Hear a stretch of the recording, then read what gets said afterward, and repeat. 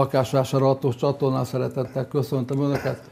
Mai műsorunk második részében eh, a lakástakarékokról lesz szó, eh, viszont keveset beszélünk erről az utóbbi időben, izgalmas vendégünk lesz egyébként. Az első részben pedig egy nagyon aktuális témát vettünk elő, az Airbnb-t, vagyis a rövidtávú lakáskiadást. Erről beszélgetünk, hogy eh, most mi is a helyzet ezzel kapcsolatban, mert a szállodások ismét megtámadták ezt, és nagyon érdekes fordulatok vannak. Vendégem ebből a témában is, Beák Attila, a Beák és Társa eh, ingatlan iroda tulajdonosa. Szia Attila! Szervusz! Szóval, Airbnb, maradjunk ennél, bár jobban szeretem az, hogy rövid távú, mert az Airbnb az egy cég. Az egy cég, igen. Úgyhogy ne őket reklámozzuk, hanem a rövid távú kiadást. Igen. Ugye az történt ismételten most már, hogy szinte minden évben a szállodaipar, a szállodások megtámadták a rövidtávú lakáskiadást, mondván, hogy ez nekik nagy konkurencia. A hatodik kerület erre már lépett is egyébként, ügydöntő népszavazást írt ki szeptemberre, hogy döntse el a lakosság, akarja hogy legyenek rövidtávú kiadások a kerületben, vagy ne legyenek. Na, kezdjük onnan, hogy egyáltalán milyen kapcsolatban van a rövidtávú lakáskiadás, akár hosszú is egyébként, és a szállodaipar. Mert ugye itt konkurenciát vélnek felfedezni. Nem gondolom, hogy konkurenciája lenne a rövid távú bérbeadás a szállodának, másféle a szolgáltatás. A szállodába kap egy szobát, egy garást, egy portaszolgálatot, lehet reggelizni, lehet vacsorázni, tehát ott van étterem, kávézó, egyebek, programot szerveznek neki, az Airbnb pedig kap egy kulcsot, amit önállóan használhat, nem kell kitakarítania, mint ahogy a szállodában sem egyébként, de az azért külön kell fizetni a takarításért. Aztán ugye egyéb díjak is vannak, mert például a szállodában benne van a szállodai szobában a, az idegenforgalmi adó, tehát azt nem kell külön fizetni, itt külön kell fizetni az idegenforgalmi adót a tulajdonosnak. Tehát egy teljesen más jellegű szolgáltatás, mint, mint De a akkor miért büszkölnek a szállodások? Hát azért, mert rengeteg vendéget elvisz tőlük a, a rövid távú bérbeadás, Tehát mert hogy jóval olcsóbb, mint a szálloda. Tehát ha én külföldön vagyok, én nem szállodába megyek őszintén szólva, hanem rövid távú bérbeadás szolgáló lakásokba, mert egyrészt akkor jövök, akkor megyek, amikor akarok, akkor foglalom el a szobát, amikor még éppen megjön a repülő, és nem vagyok kíváncsi a 15 eurós reggelivel, amire adnak egy croissant meg egy kávét, hanem én lemegyek a kávézóba és reggelizek, vagy éppen veszek valamit a közértbe is, és megreggelizek otthon kényelmesen az ágyba. Tehát egy más jellegű... De akkor mégis a konkurencia. Tehát hát ugye olyan jellegű hogy... konkurencia, hogy elviszi azt a vendéget, aki nem tudna máshol aludni, csak szállodába. E, igen, de hogyha ekkora az ár differencia, már pedig azért e, mondjuk azt, hogy egy három-négy csillagos szállodánál és a rövid távú lakáskiadást azért van különbség. Hát jó, jó, alapos különbség van, ezért használják nagyon sokan a rövid távú bérbeadást. De, de akkor az a megoldás. Szóval ez egy nagyon fura ország, ez a Magyarország, hát, ugye ahol a piac taxi úgy... Uber. Például, igen. Tehát a, a piac nem érvényesülhet igazából. Mert mi, mi, mi az, mindig mi az, keretek mi az, hogy állami szabályozva, rend... mindig keretek közé szabják azt, hogy ki mit csináljon. Ráadásul egyébként én azt mondom, hogy, hogy ez a, RB, ez a, a rövidtávú bérbeadás is egy, egy olyan jellegű szolgáltatás, ahol rengeteg adót terheli a, magát a szolgáltatást. Tehát terheli, maga, terheli maga az adó, terheli a idegenforgalmi adó, terheli a, a szocó, tehát ez a szociális Szociál. hozzájárulás, terheli a idegenforgalmi hozzájárulás, vagy idegen, turiszt, hogy is hívják, turisztikai fejlesztési hozzájárulás, meg, meg az idegenforgalmi adó. Hát ezt összeadjuk, ez már több mint 30 százalék. És ez az államhoz folyik be egyébként. És az államhoz folyik be, igen. Az államnak nem okvetlen érdeke, hogy a szállodaipar belli álljon, de valamiért mégis. Hát nyilván az ottani lobby ugyanolyan erős, mint a taxi Uber kérdésben a taxisok lobbija.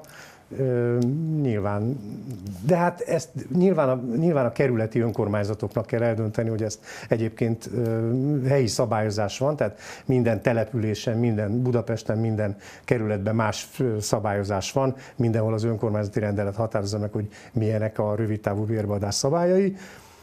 Egyébként például most a hatodik kerület ügydöntő népszavazásnak nevezett intézkedést hozott, ami azt jelenti, hogy a lakosságot meginterjúolja, megszavaztatja, hogy legyen vagy ne legyen a kerületben rövid távú bérbeadás. Igen, ez egy másik olvasata egyébként ennek a rövid távú bérbeadásnak. Ugye az egyik fronton harcol a rövid távú bérbeadó a szállodával. A másik fronton harcol a társasházi e, e, tulajdonosokkal, ugye a társtulajdonosokkal. E, és a népszavazás erről fog szólni egyébként a hatodik kerületben, hogy megtiltsák vagy ne. És nagyon érdekes a kérdés feltevés, ha úgy teszik fel, hogy megtiltsuk-e tehát nem azt, hogy megengedjük el, hanem megtér, tehát már, már most adják ugye, ugye a... Azt tudni kell még ehhez a rövid távú bérbeadáshoz, hogy többféle vendégköre van ennek a rövid távú bérbeadásnak. Tehát van egy ötcsillagosan felújított, az utolsó kávékapszuláig rendelkezésre álló lakás, tehát kiskanál, kávéscsésze, boros pohár, hűtőszekrény, minden, ahova a joviális úri emberek, illetve családjuk költöznek, azok nem buliznak, hazamennek este, lefekszenek, másnap elmennek város nézni.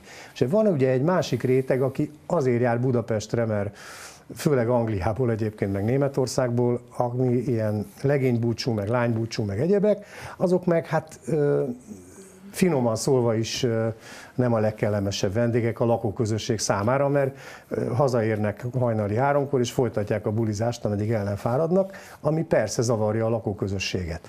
Na de ebből nem lehet általánosítani, mert ez én azt gondolom, hogy sokkal ritkább, mint, mint az a rövid távú bérbeadást igénybe velő vendég, aki azért jön ide, hogy város nézzen. Nagyon fontos dolog ez egyébként, hogy mi szól a lakóközösség, és itt ugye ezt fogják megszavaztatni majd, mert valóban lehet zavaró, bizonyos helyzetekben, ugye 5., 6., 7., 8., 9. kerületben ez ugye napi renden van. Kérdés az, hogy te hogy viselkedik, és azt nem tudod kiszámítani. Tehát amikor te tulajdonosként, bérbeadóként befogadsz valakit, nem tudod, hogy előírhatsz a, a, a, hát, a házszabályokat Azért determinálni azt, hogy egy lakás hogy van felújítva, mert ugye nyilván annak az ára is más. Tehát van a vaságyas, emeletes ágyas kategória, ahol beraknak 8 emeletes ágyat egy, egy nagy szobába, és akkor minél olcsóbb, annál jobb. Na ez a bulis vendég, de ilyet nem vesz igénybe az, aki város nézni jön, az inkább megveszi, a, vagy kiveszi a négy-öt csillagosra felújított lakást. De mit, tapaszt, mit tapasztalsz egyébként ingatlanosként is, hogy miből van több az ilyen bulizóból, akik nem. A, megzavarják a házrendjét? Nem. Nem. nem. Aha. Tehát a normális vendégből több van, de sajnos van olyan is, aki bulizni jön. E, ingatlan.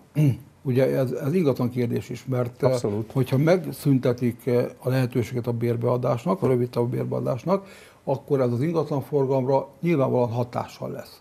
Milyen hatással? Mert sokan vásároltak ugye azért lakásokat ott, kisebb lakásokat például, hogy kiadják. Hát sőt, a, ezekben az említett kerületekben van egy jó csomó olyan cég, aki ezzel foglalkozik. Tehát nem egy lakást üzemeltet, hanem számos lakást. Én olyat is tudok a hetedik kerületben, aki egy komplet házat kivásárolt, és rövid távú bérbeadásra használja, úgy, mint egy szállodát, de ezek ugye apartmanok. Tehát van lenne egy reggeliző, ha akarja, igénybe veszi, akarna, nem, de ő csak az apartmant adja bérbe. Ha ezt megtiltják, akkor mit csinál az egész házával? Például.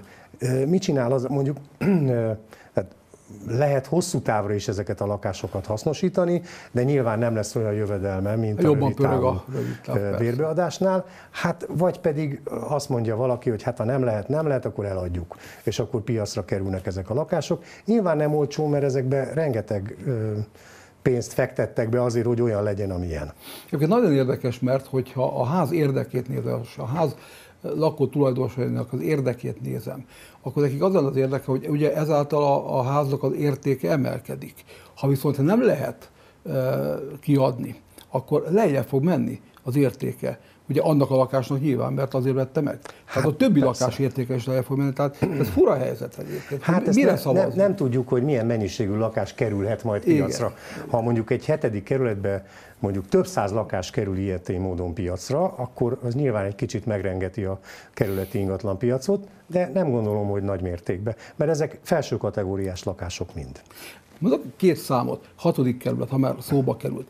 29.730, ha jól emlékszem, tehát majdnem 30 ezer eh, lakásra a kerületben. Ebből 2300 lakást eh, adnak ki bérbe. Tehát majdnem a 10%-a, azt hiszem 7-8%-a körül. Igen, igen. Nem kevés. Nem. Hát mert ez olyan helyen van. A hetedik kerületben lehet, hogy még ez a, szab, ez a szám ez még, még erősebb, mert a hetedik kerület a központja ennek az egész rövid távú bírbátásnak, meg esetleg az ötödik, de az ötödik már nem annyira egyébként. Hát ott vannak a, a szórakozó helyek, igen, igen. sőt a, a, a nyolcadik is nagyon feljött ott. Igen, hát a, különösen a, a belső rész. A igen, igen. De a Ferencváros is. Tehát a, igen. Hát ami a belvároshoz közel van gyakorlatilag igen. azok a kerületek, de inkább a belső része a kerületeknek, tehát a, azt mondom, hogy a körúton belüli rész, ami ilyen szempontból erős. Érdekes lesz meglátni, hogy ha éppen megtiltja az a kerület, akkor mi lesz a adott... Mi lehet? Mire hát, futhat, ismerő ezeket a számokat tehát, például? Ki, hát két dolog lehet. Az egyik az, hogy valaki más módon fogja hasznosítani, kiadja irodának, hosszú távú ö, bérlőnek, vagy pedig azt mondja, hogy na, nekem, nekem elegem van ebből az egészből, és eladja. Akkor viszont piacra fog kerülni.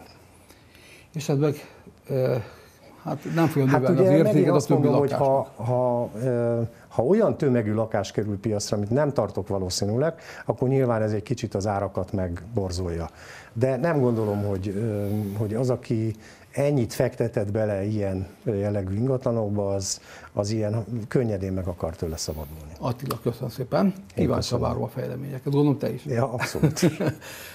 maradjanak velünk, mert most a lakástakarékokról esik szó, még hozzá egy különleges vendéggel. Baksa András, színész, énekes, bölcsész a vendége, hogy hogy kerül a csizma az asztal, vagy Andris a műsorba? Hát úgy, hogy ő egyúttal személyi bankár is, méghozzá egy lakástakaréknál, az egyik legnagyobbnál. Szia Andris!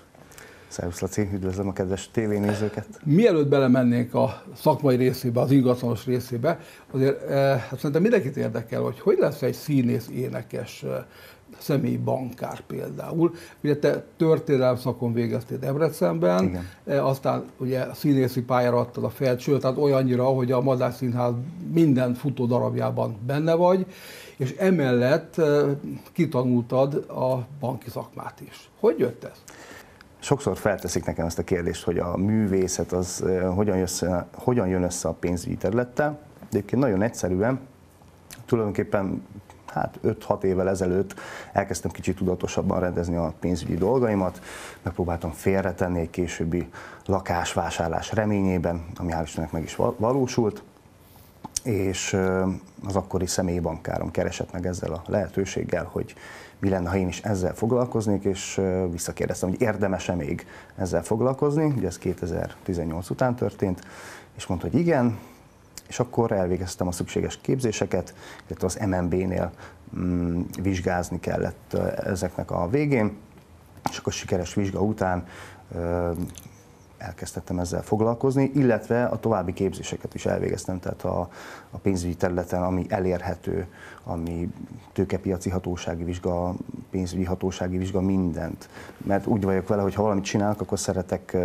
teljes tudás birtokában átadni információt az ügyfeleknek, és ez mai világban egyre inkább fontosabb.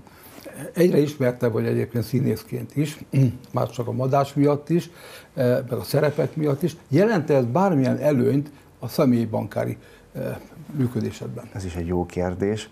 Az elején a személybankár pályám elején, még azzal szembesültem, hogy nehezebben fogadnak el pénzügyi tanácsadóként, vagy pénzügyi szakértőként, mert elsősorban színészként ismertek meg.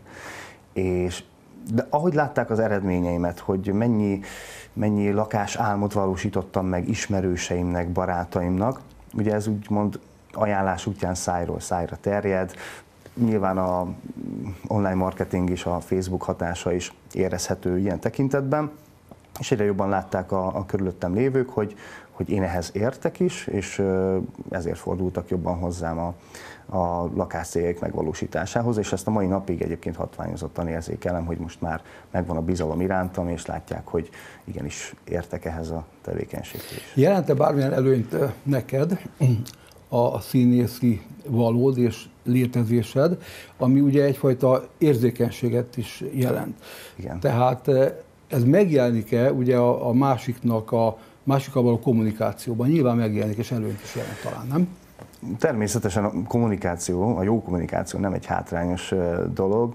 Meg az érzékenység, hogy, hogy igen, tudod, az, hogy mit, hát, mit lehet mondani, kinek mit és hogyan lehet mondani. Igen, meg maga az empátia része is ugye egy fontos dolog ebben a, ebben a szakmában is, illetve az, hogy tényleg vannak különböző embertípusok, és valaki a, a számok nyelv, valakinek a számok nyelvén lehet kommunikálni, valaki sokkal inkább érzelmi központú, és, és ő úgy választ például magának egy megoldást bizonyos ö, lakáscélra, és akkor ennek megfelelően kell az ügyfelekhez is viszonyulni. De hál' Istennek ez, ez szokott sikerülni. Nem volt még olyan, de aztán rátérünk majd a konkrét lakástakarék ügyekre, nem volt még olyan, hogy valaki fölismert esetleg, és hogy beszélgettetek, és hogy hát ha énekelsz egy dalt, akkor, akkor ő megköti a szerződést. Hál' Istennek ilyen felkérése még nem volt. Mert ilyet, hallottam már egyébként. Igen? A kollégák, kollégák. Nekem még ilyenhez nem volt, nem volt szerencsém, és örülök neki, mert nem szeretném egyik szakmát a másikkal összevonni, tehát meg összemosni. Nem De ha jön egy ilyen kérés, és azon múlik.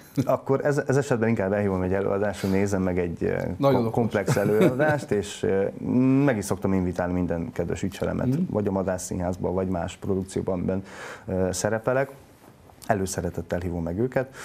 Olyan már volt, hogy szerepeltem egy tévésorozatban, és láttam az ügyfelem, hogy miközben beszélgetünk, hogy van gondolkodik, és már a hatodik perc után már megkérdeztem, hogy van esetleg probléma, nem, nem, csak hogy valami nagyon ismerős vagyok. És mondom, kérdeztem, színházba jár? Nem. Tévét néz? Igen. És ö, látta ezt a sorozatot? Megkérdeztem. Igen. Hogy tudom, te vagy, te vagy, és akkor így, így, így kiderült, Na, látod, hogy, hogy onnan voltam is, és utána teljesen kinyílt, és teljesen más, másképpen állt de hogy láttam, hogy gondolkodik, hogy valahonnan ismerem.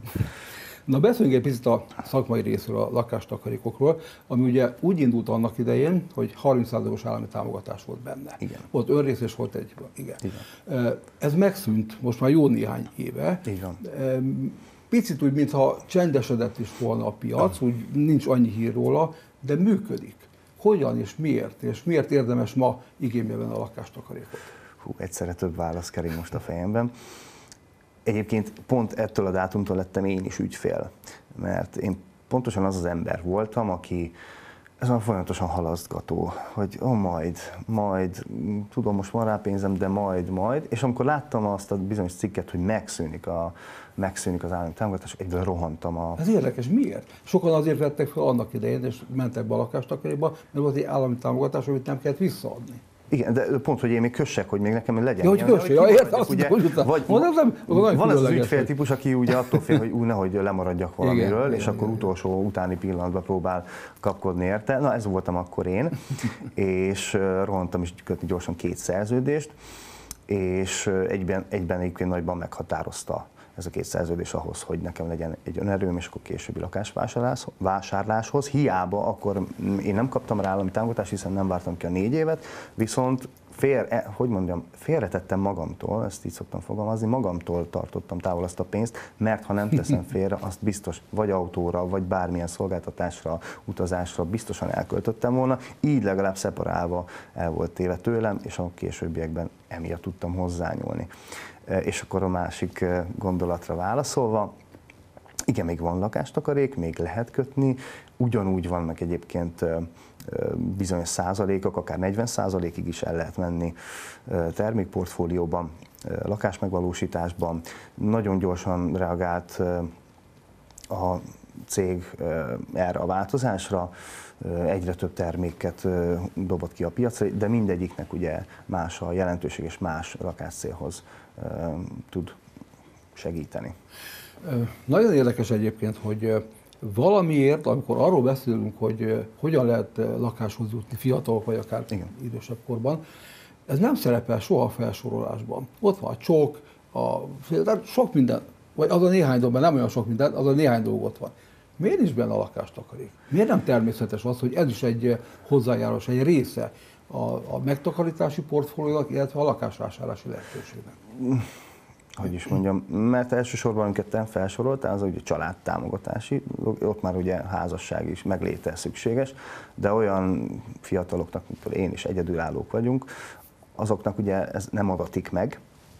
És, és azért nem akarsz házasodni? Hát azért, igen, igen, e- ilyen tekintetben e- emiatt nem, de egyébként a családoknak is szükséges, illetve, hogy mondjam, ajánlatos az, hogy legyen megtakarításuk, hiszen akinek van egy megtakarítása, annak mindig van egy választási lehetősége, ezt szoktam felhozni, illetve nagyobb, szélesebb a paletta, hogyha majd eljön az idő, és mondjuk fel kell újítani a konyhát, aminek ugye a költségei egyre jobban mennek fel mai nap, ma, manapság, illetve lakást akarnak vásárolni, azt hadd nem mondjam, hogy a lakásárak is egyre jobban mennek az, az ég felé minél több pénzt kell félretenni, tehát hogy még ezek a támogatási rendszerek sem mindig fedik le azt a teljes összeget, amire igény van.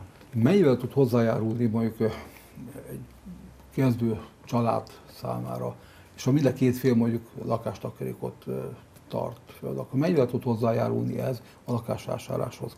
Tehát tudjuk azt, hogy van mondjuk a, a csoknál föl tud venni 10-15 millió forintot is, akár Igen. föl tud venni kedvezes hitellel is, Igen. vagy kedves kamattal hitelt, ez, ez hol van ez a lakástakarék ebben a körben? Tulajdonképpen meg kell vizsgálni, hogy a ügyfélnek mi a célja, hogy mire szeretné majd azt az összeget felhasználni. Nem szükséges teljesen belőni azt az összeget már az elején, de hogy egy viszonyításképpen egy, egy amire valószínűleg szüksége lesz, ezt egyébként a későbbiekben majd tudja ö, mozgatni felfelé és lefelé és tehát növelni is, illetve a mi ügyfeleinknek ö, egy megtakarítása, azzal nem csak idős spórol, de pénzt is egy késő esetleges hitelfelvétel kapcsán. Ugye ti hitellel is foglalkoztok, méghozzá kedvezményesebb hitellel. Így van. Ez hogy néz van. Tulajdonképpen a szerződés megírásakor már az ügyfél lerögzíti magának a megtakarítási idő után opcionálisan felvető lakáskölcsön kamatát, illetve összegét. Amit egyébként a, a megtakarítási időszak alatt lehet változtatni, növelni, illetve csökkenteni. Tehát van egy, egyfajta mozgástere, egy nagy mozgástere az ügyfeleinknek, illetve, is, illetve már eltelt több év a megtakarításban, akkor sokkal kedvezőbb helyzetben van, mint ha éppen akkor sétálna be egy szakosított hitelintézetbe és hitelhez folyamatban. Tehát a mi ügyfelénknek van, tehát rövidebb időre tud felvenni hitelt, illetve sokkal kedvezőbb kamatokkal is.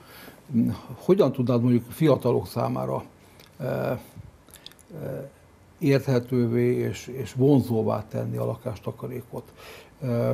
Ha valaki mondjuk lakást akar vásárolni, és nagyon sokan vannak azzal úgy, hogy nincs megtakarított pénzük, nincs olyan keresményük, amivel tudnának. Hogy lehet beépíteni ebbe a körbe? Hát ez egy nehéz és komplex kérdés, de tudom, hogy nehéz manapság, mert saját magam példájából kiindulva, pláne amikor még csak a színházzal foglalkoztam egyedül, nem egyszerű félretenni nem egyszerű ebben az inflációs időszakban sem, úgyhogy mindennek emelkedik az ára, a megélhetés, az albérletárak, viszont ha azt megnézzük, hogy inkább egy törlesztő részletet fizetünk albérlet helyett, ami igazából sose lesz a mi tulajdonunk, csak ha ugye hitelhez folyamodunk, akkor már inkább a sajátunkat fizessük. Legalábbis én így voltam vele, hogy több millió forintot kifizettem albérletre a tíz év alatt, amióta Budapesten éltem, akkor már szerettem volna saját lakásra szert tenni. Illetve minél tovább toljuk az időt, hogy lakásvásárlásra adjuk a fejünket, annál több önerőre van szükségünk, annál többet kell félretenni, és nem tudunk annyit félretenni, hogy hitel nélkül megoldjuk sajnos. Milyen haszonra lehet, és ez az utolsó kérdés, milyen haszonra lehet szert tenni, hogyha valaki lakástakarékot nyit, vagy elkezdi ezt? Itt most a nem a, nem a, igen, gondolsz? Igen, igen, igen. 0 százaléktól akár 40 százalékig. Nagyon számszerűen nem szeretnék belemenni, mert ezt honlapon el lehet érni, és, és mindenkinek, mindenki, meg, mindenki számára elérhető. Viszont azt nagyon meg kell nézni, hogy tényleg mi a lakásszél az ügyfélnek. Ha lakásvásárlása, akkor egy ilyenfajta terméket ajánlanék. Ha csak megtakarítani a, a kisgyereknek, akkor ha majd felnő, felhasználja, akkor egy olyat, illetve ha csak felújításra, akkor egy harmadikat, tehát többféle verzió létezik. Optimálisan hány évet javasolsz, hogy mondasz? Ez, ez mindig az ügyfél igényeihez kell, hogy alkalmazkodjon. Ezt látatlanban sose lehet meg tud, megmondani. Valaki csak rövid távra szeretne előre tervezni, de időközben, ha lejár az a rövid táv, akkor azt meg lehet hosszabbítani, ha nincs. És átidaló is van. Így van, tehát hogy mindenre van megoldás. Ha hamarabb kell az összeg, mint a megtakarítási idő, arra is van lehetőség, hogy akkor úgy hitellel felvegye. Tehát nagyon sok a lehetőség, ezért szoktam mondani, hogy a mi ügyfeleinknek van választási lehetőség, illetve több választási lehetősége van, hogyha nagy Isten történik valami. Az is nagyon szépen köszönöm, és sok sikert kívánok neked a személyi bankári köszönöm területen is, meg színészként énekesként. Nagyon szépen köszönöm, nagyon és köszönöm, köszönöm a kívást. Örülök, hogy itt voltál.